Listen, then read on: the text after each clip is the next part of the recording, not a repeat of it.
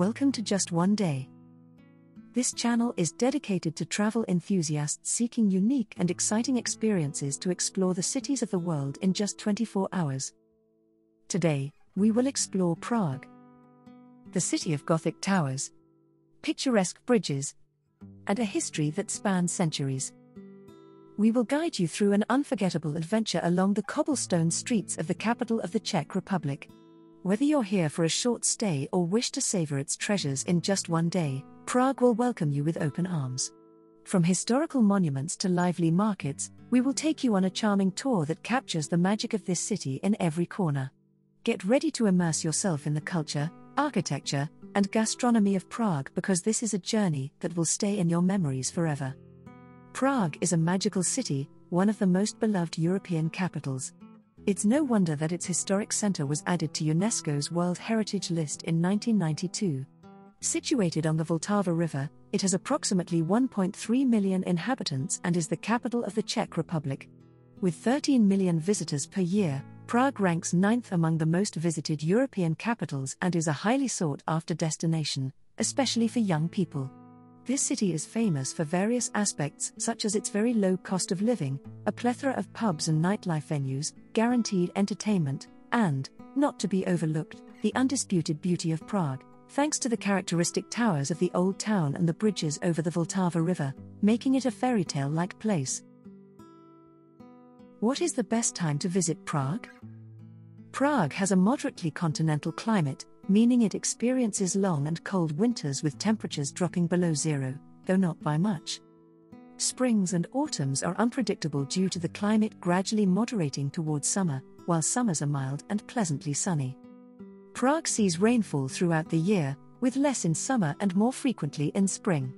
In winter, precipitation often comes in the form of snow. The best periods to visit Prague are late spring and summer, from May to September. However, for those who enjoy cold weather, snow, and the winter atmosphere in European capitals, the best months are December and January, especially during the Christmas period, when Prague is snowy and festive. When is the most economical time to go to Prague? Initially, we mentioned that Prague has a very low cost of living, making it an affordable city throughout the year. However, in the months of October, November, February, and March, flight and accommodation prices drop even further. This is due to lower tourist influx compared to summer and winter. Seeing Prague in just one day is limited. And you will inevitably have to make some sacrifices. But don't worry. Here are all our tips for Prague in a day. The itinerary includes the main stops, excluding museums and attractions that would take too much time. Start with the must see in Prague, Staré Mesto, or the Old Town, easily reachable from the central train station. Head to the town hall with the famous astronomical clock, walking along Celetná, one of the city's most famous streets. Conclude the morning by visiting the Josefov district, the Jewish quarter, and then cross the Charles Bridge. After lunch, skip what you come across on the street, you'll come back to it, and head as quickly as possible to Prague Castle, where you can stroll along its walls and visit St. Vitus Cathedral. Now go back, descend to the Malá Strana district, and don't forget to take a photo in front of the Lennon Wall. If you can stay in the city in the evening, we recommend crossing the Charles Bridge again and returning to the historic center, where you can take part in a unique experience a medieval dinner in a downtown venue, with live musical entertainment. Okay, let's start. A day in Prague can only begin in Staré Mesto, the historic center of the city. You can easily reach it on foot, from the central station, pass by the large powder tower, which you can admire from the outside, walk along the famous Celetná Street, one of the best known in Prague, and finally reach Staroměstské náměstí, the oldest square in the historic center. The walk takes about 15 minutes. Once you arrive in the heart of the historic center, in this large and wonderful square, admire the famous astronomical clock of Prague, one of the city's most well known attractions and one of its symbols. It is located on the southern side of the town hall and consists of three main elements the astronomical dial, a mechanism that moves at every hour, and a lower dial. We recommend stopping to admire the clock from the outside, perhaps avoiding the hourly spectacle if you don't like crowds, as many people gather below. You could also visit it inside, but there isn't much time available. It will definitely be something to do if you have the chance to return to the city. Just one day tip make a stop at the Church of St. Mary of Týn, on the city skyline. You always see two tall spires, which are the spires of the Church of St. Mary of Týn, accessed from Staroměstské náměstí Square through a gallery. We recommend visiting it especially if the sun is shining, as inside, the large decorated and colorful stained glass windows will create truly unique plays of light. Dedicate the second part of the morning to exploring the Josefov district, the Jewish quarter of Prague, the former ghetto where the Jewish population lived from 900 to 1708. It is part of the historic center area, so you can easily reach it and explore it on foot. For example, it takes only four minutes from the old town square to the Staronová Synagogue, the oldest active synagogue in Europe. The best way to explore this district is to get lost in its streets, letting yourself be carried away by its charm and history. Alternatively, you can also consider a walking tour of the Old Town and the Jewish Quarter to discover the entire historic center with a local guide. Certainly, a must visit is the Old Jewish Cemetery, an ancient cemetery from the 15th century with approximately 12,000 stone tombstones stacked on top of each other. Some prominent members of the Jewish community are also buried here. In this case as well, we recommend viewing it from the outside because time is limited, but it certainly deserves a more in depth visit if you return to Prague. Among the illustrious figures who lived in this district is Franz Kafka, a famous writer. Therefore, a statue dedicated to him, inspired by his work description of a battle, could not be missing. It is one of the most photographed spots in the Jewish quarter. Finally, conclude the morning by reaching the famous Charles Bridge, or in the original language, Karlov Most. It is the most famous bridge in the city and one of its symbols, connecting the old town to the Mala Strana district. The bridge was built in 1357 during the reign of Charles IV and today is, without a shadow of a doubt, one of the most important and suggestive monuments in the city.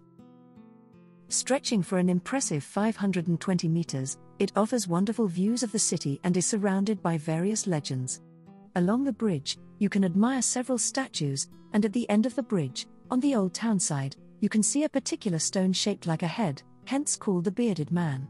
This stone was used by the inhabitants to understand variations in the river's water level, thus realizing when it was becoming too high. On the bridge, there are 30 statues of saints which, according to legend, the most famous among all those that hover around the bridge's history, come to life during the night. You should take a stroll here in the evening to admire this place in all its beauty. After a quick lunch, head to one of the undisputed symbols of the city, Prague Castle. Almost always a protagonist in the novels of the writer Kafka, the castle is located on top of a hill, already visible when you cross the Charles Bridge.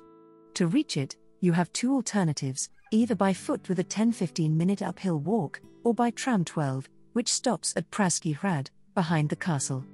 Access to the castle walls is completely free, and here you can walk, admiring important buildings from the outside and enjoying the city from above. Since time is short, we recommend visiting St. Vitus Cathedral, one of the largest churches in Europe.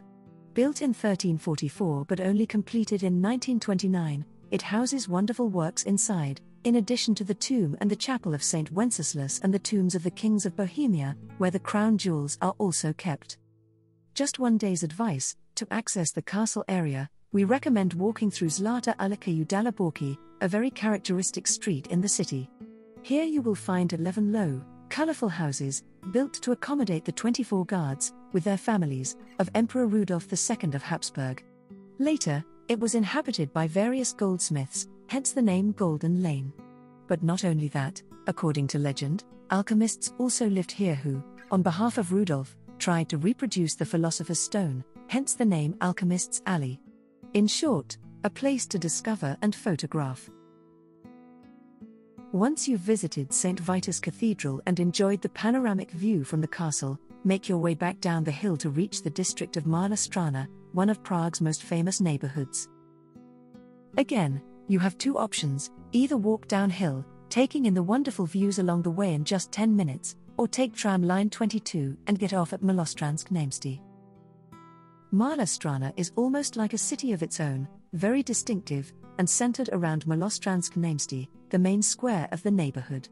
If you walked down from the castle, you likely traversed a stretch of Nerudova Street, one of the most elegant streets in all of Prague. However, the real attraction of the district is the Lennon Wall, or Lennonova zeď. It's a wall that, since the time of the communist regime, has always been covered in graffiti and often political messages. Today, it is almost entirely covered in murals inspired mainly by Beatles songs, hence the name. Due to time constraints, we focused on exploring the old town, but Prague also features a new town, Nové Mesto, radiating around Wenceslas Square. Here, you'll find the famous dancing house, as well as the wonderful National Museum of Prague, with various exhibitions on natural sciences and history, suitable even for children. We recommend dedicating half a day to explore this part of the city. If you love art and history, note that the castle ticket includes various attractions beyond St. Vitus Cathedral, the Old Royal Palace, the Prague Castle History Exhibition, St. George's Basilica, Rosenberg Palace, and the Prague Castle Picture Gallery. Obviously, it's impossible to see everything in one day, so you can choose one of the various exhibition routes available. For family travelers, a panoramic cruise on the Vltava River is a must, as well as spending some time at Letná Park, offering a wonderful panoramic view of the city. Useful tips How to get around in Prague. Prague, despite being a capital city, is a perfect destination to explore on foot. For a first approach, we recommend participating in a walking tour with a local guide. Alternatively, the historic center is perfect for discovering on a bike. You can do this through guided bike tours or independently using the bike sharing service. If you need to use public transportation, the best option is the metro, especially the Green Line that crosses the main neighborhoods of Prague. Buses and trams are punctual and efficient, but you will likely use them very little. All three modes of transportation can be used with the same ticket. Alternatively, we recommend the tourist bus, ideal for taking a panoramic tour of the city and getting oriented. Where to stay in Prague?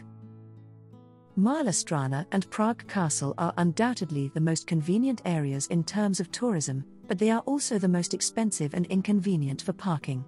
The same neighborhoods are recommended for families with children since they are quite calm in the evenings.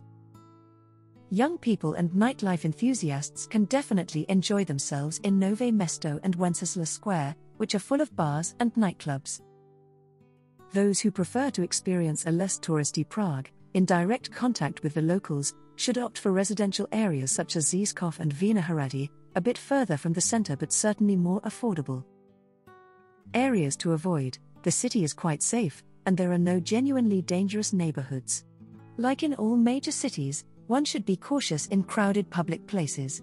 Avoid the areas near the central station, such as the nearby park, often referred to as Sherwood by locals, like Robin Hood stealing from the rich.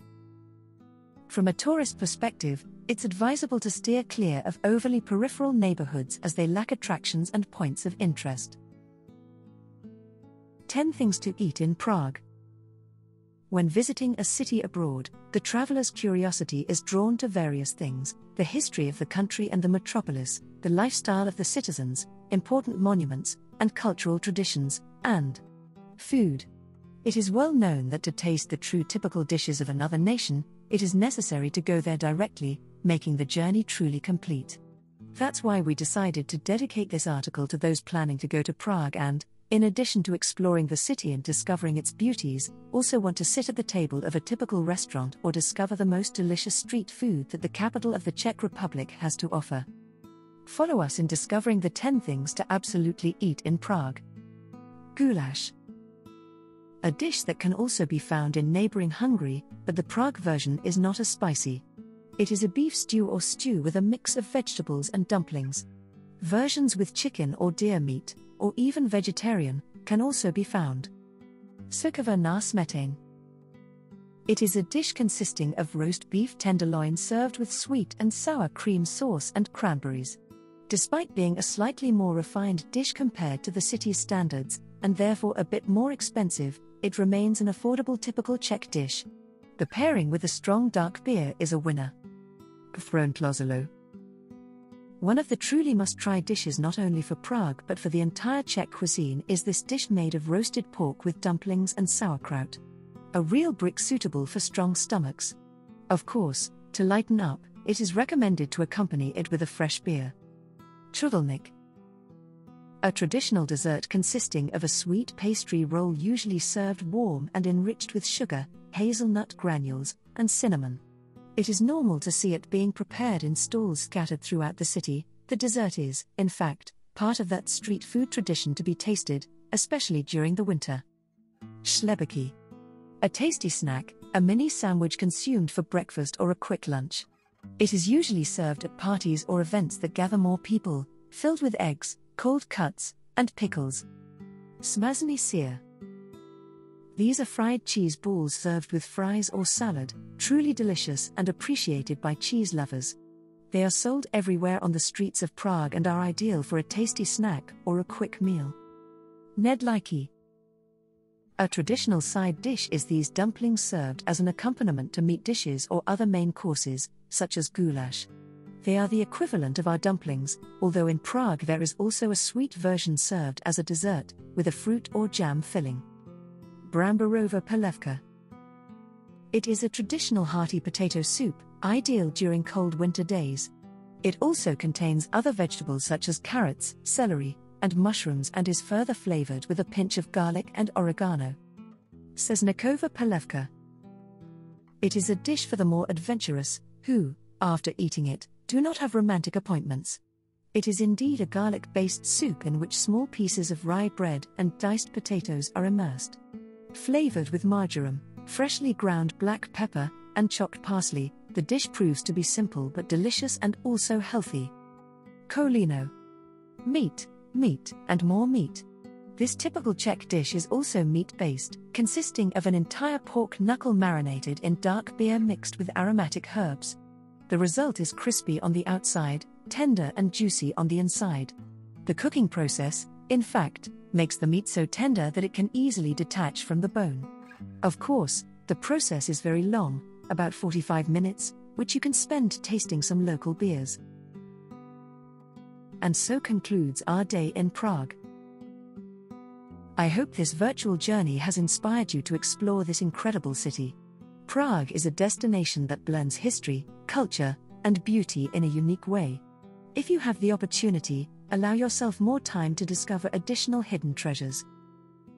Thank you for joining us on this journey, and always remember to let yourself be carried away by the magic of Prague. Goodbye from just one day to the next trip.